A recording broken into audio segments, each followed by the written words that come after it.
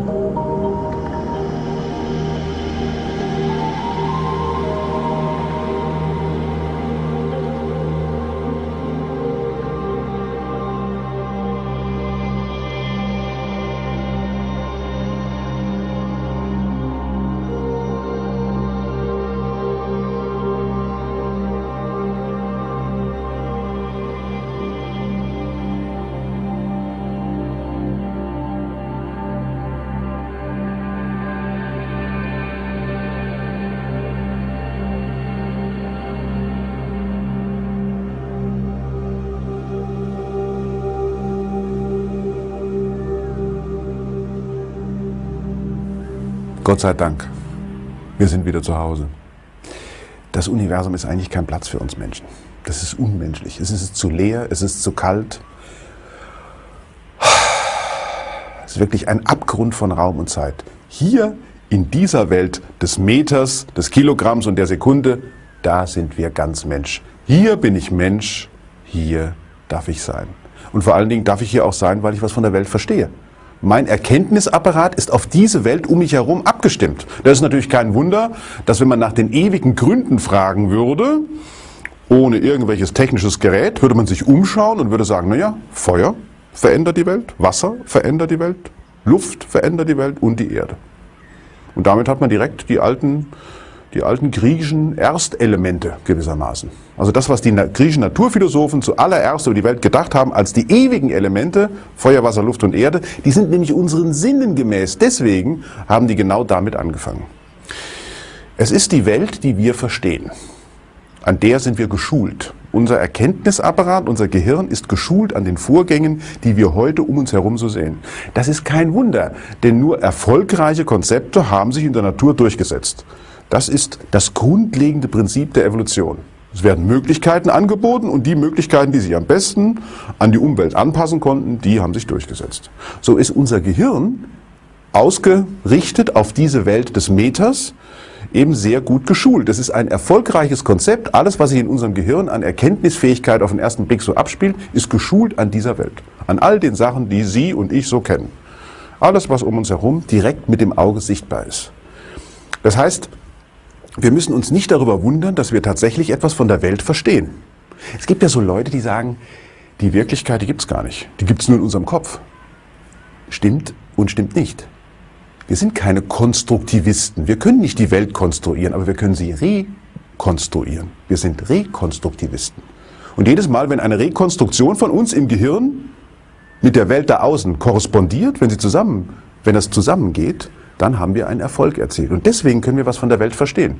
Also unser Gehirn konstruiert nicht die Welt, sondern unser Gehirn ist ein Teil der Welt. Und jedes Mal, wenn wir eine Hypothese bestätigt finden in der Außenwelt, dann können wir sagen, ja, vielleicht ist an der Hypothese was dran. Das ist das Problem für die Konstruktivisten übrigens. Sie können nicht erklären, warum Hypothesen scheitern. Wir als Realisten können sagen, Hypothesen scheitern, weil sie falsch sind aus. Für Konstruktivisten ist das schwierig zu erklären, denn die sind ja der Meinung, die Welt sei eine Konstruktion, also das sei unser Wunsch, unsere Vision und so weiter. Na, wie will man dann eine Welt konstruieren, die total falsch ist? Kommen wir zurück. Wir sind zu Hause, wir sind in dieser Welt, die wir gut verstehen. Endlich. Allerdings haben wir diese Welt ja auch verändert. Wir Menschen, der Homo sapiens vor allen Dingen, hat die Welt gewaltig manipuliert. Und wissen Sie mit was? Mit der Hand. Das, was die Welt verändert hat, ist die Technik und das Handwerk. Und das Handwerk und die Technik, das ist die Welt des Handmaßes. Unsere Hand, unsere fünf Finger haben die Welt dramatisch verändert.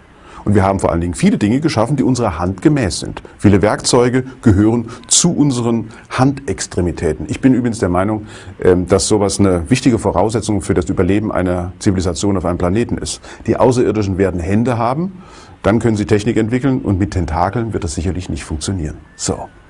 Das ist die Welt um uns herum. Sie ist handgemäß. Also das ist schon mal so diese, diese Welt von 10 Zentimetern. Aber jetzt wollen wir anfangen, in die Materie hineinzugehen. Noch können wir in einem ersten und in einem zweiten Schritt können wir Dinge erkennen, die noch viel kleiner sind als unsere Hand. Aber dann werden wir Techniken brauchen, um da unten mal nachzuschauen, was sich in dieser Welt, in dieser fantastischen Mikrowelt noch alles verbirgt. Dann würde ich sagen, los geht's.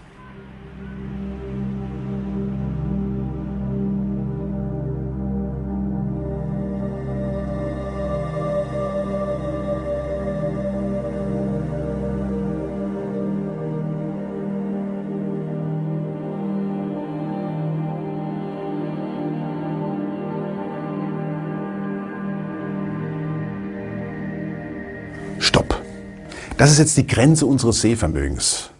Unterhalb dieser Ebene von ungefähr einem Millimeter beginnt das für uns nicht mehr sichtbar. Da brauchen wir Hilfsmittel und da tut sich vieles. In diesem Grenzgebiet zwischen dem ganz Großen und dem ganz Kleinen, da gibt es Lebewesen. Und diese Lebewesen sind sowas wie Miniaturausgaben der ganz großen Lebewesen, die wir kennen. Da gibt es Stoffwechsel, die reproduzieren sich, es geht ihnen offenbar gut, ihre Lebensbedingungen sind offenbar perfekt, sie sind angepasst an diese Umweltbedingungen sind manchmal so angepasst an diese Umweltbedingungen, dass es uns großen Lebewesen große Schwierigkeiten macht.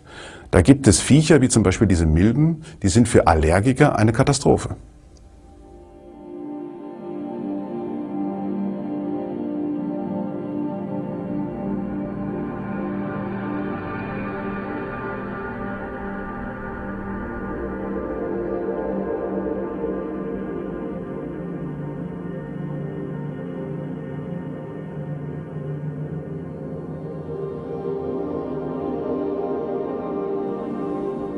Wir sind endlich beim Urbaustein des Lebens angekommen. Zumindest auf unserem Planeten, nämlich der Zelle, dem Einzeller. Es gibt zwei verschiedene Sorten von Einzellern, kann ich ja schon mal sagen, vorab.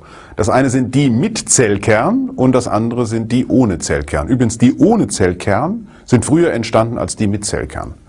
Kein Wunder, es ist einfach einfacher gewesen, es ohne Zellkern zu versuchen als mit. Der Zellkern ist eine Weiterentwicklung und zu dem kommen wir noch. Das ist das ganz große Geheimnis des Lebens. Was ist die Zelle? Die Zelle ist eigentlich eine große Kommune, fast könnte man sagen eine Wohngemeinschaft. Da haben sich verschiedene Einzeller nämlich zusammengetan. Das ist zumindest die Theorie, wie eine solche komplizierte chemische Mini-Anlage zustande kommt. Eine Zelle besteht aus dem Zellkern, wie gesagt, den lassen wir erstmal weg, aber es gibt eine Proteinfabrik. Die Proteine, das sind die Moleküle, aus denen alles Mögliche zusammengebaut ist, unsere Haut, unsere Organe, das Bindegewebe, alles Mögliche. Und diese Proteine werden durch die Zelle immer und immer wieder aufs Neue aufgebaut. Es gibt eine Energiefabrik in der Zelle, das sind die Mitochondrien. Die Mitochondrien, das sind übrigens diejenigen, von denen man weiß, dass eine Zelle mit Zellkern ursprünglich mal eine Zelle ohne Zellkern gewesen ist, die eine andere Zelle gefressen hat. Denn in den Mitochondrien gibt es eigenes Erbgut. Nicht nur im Zellkern, sondern auch in den Mitochondrien. Und in Mitochondrien Erbgut, das kann man auf der Mutterlinie nachverfolgen und so weiß man, dass wir Menschen alle aus Ostafrika stammen. Es gibt nämlich nur sieben Mutterlinien, sieben, die alle nach Ostafrika zurückführen. Das kann man aus der Mitochondrien RNA ablesen, der Ribonukleinsäure der Mitochondrien. Es gibt den Golgi-Apparat, es gibt aber vor allen Dingen eine Zellwand, die den Einzeller umschließt und das ist ganz wichtig, weil die Zellwand macht den Unterschied zwischen innen und außen. Es muss nämlich innen etwas mehr sein, zum Beispiel von den Nährstoffen, als außen. Das heißt, die Zelle versucht ständig von außen durch die Zellwand Nährstoffe in sich hineinzubringen und wenn die dann umgebaut werden, gibt es natürlich auch Abfall. Das muss dann durch die Zellwand wieder raus. Und auf diese Art und Weise profiliert sich die Zelle. Die Entstehung der Membran, die die Zelle um, umgibt, also der Zellwand, das ist eine der ganz großen Fragen der, äh, der Lebensgeschichte. Wie hat das angefangen? Also es gibt die Zellwand, es gibt die Zellflüssigkeit, den Zellkern und es gibt diese Einzelteile und das alles zusammen macht eine grandiose chemische Fabrik auf. Und diese chemische Fabrik erneuert sich immer und immer wieder. Und wie sie das tut, das erzähle ich Ihnen, wenn es um den Zellkern geht.